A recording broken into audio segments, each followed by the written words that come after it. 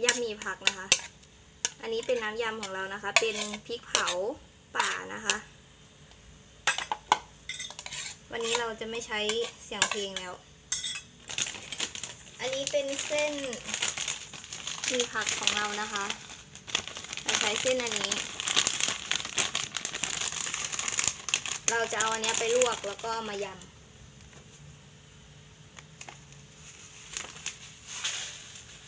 เดี๋ยวเรารอลวกเส้น สักครู่นะคะ อันนี้คือเครื่องเคียงก็จะเราของเราจะเป็นหน่อไม้นะคะแบมบู ตอนนี้เส้นเราก็ได้แล้วนะคะ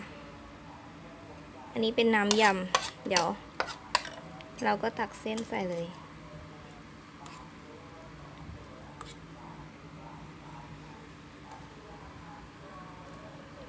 เราก็ตักเส้นเดี๋ยวสักครู่นะกล้องจะหมุนนิดนึงนะ โอเค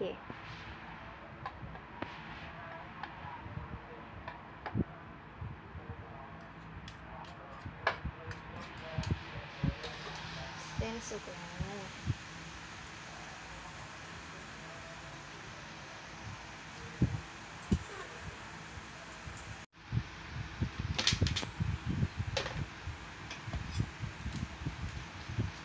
ดี๋ยวใส่น้ำตาล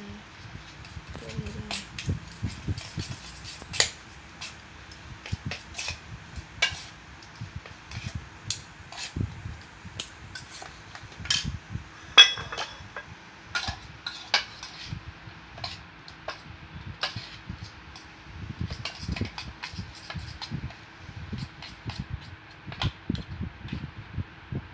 แล้วเราก็ ตักวายนะคะ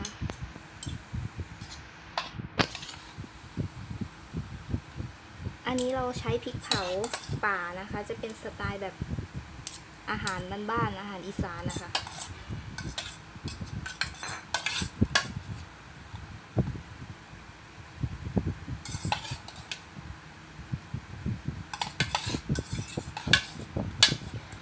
ส่วนหน่อไม้เนี่ยนะคะ เราจะวางกิน เคียงคู่กับอันนี้หรือว่าเราจะเอามาคุกด้วยก็แล้วแต่ชอบเลย จะเป็นผักอย่างอื่นก็ได้นะคะ นี่เป็นเมนูแบบเฮลตี้จะใส่เนื้อปลาจะใส่เนื้อไก่ก็แล้วแต่ชอบ แต่อันนี้เราวันนี้เราไม่กินเนื้อนะคะ งดกินเนื้อ เราจะมีแต่ผักแล้วก็เส้นโอเคค่ะ สำหรับวันนี้เมนูยำเส้นหมี่ผักนะคะ ก็หน้าตาจะประมาณนี้ โอเคค่ะ